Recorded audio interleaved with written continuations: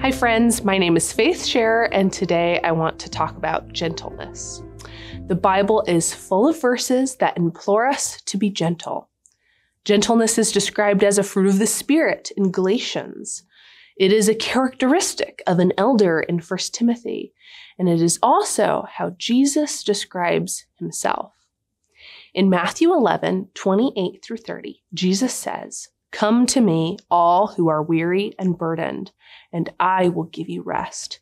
Take my yoke upon you and learn from me, for I am gentle and humble in heart, and you will find rest for your souls. For my yoke is easy and my burden is light.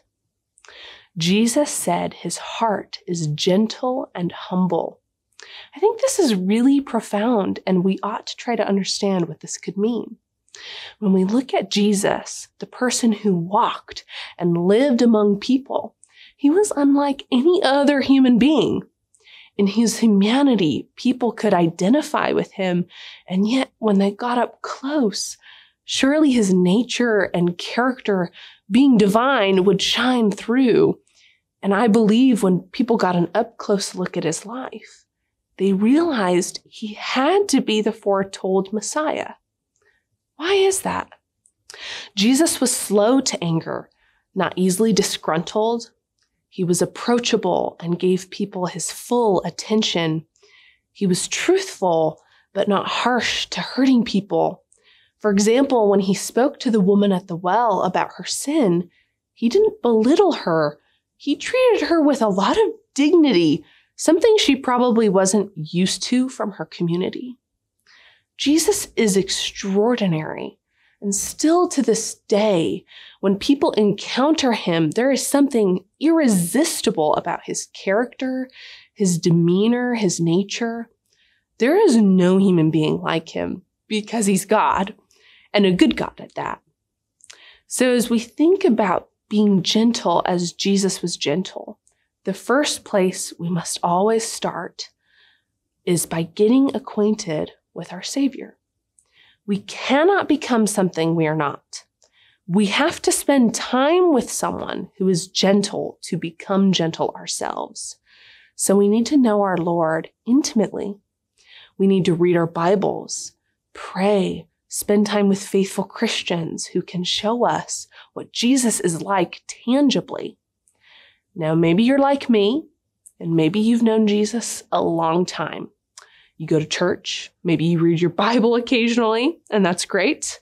Sometimes, though, we need to let Jesus become fresh to us again.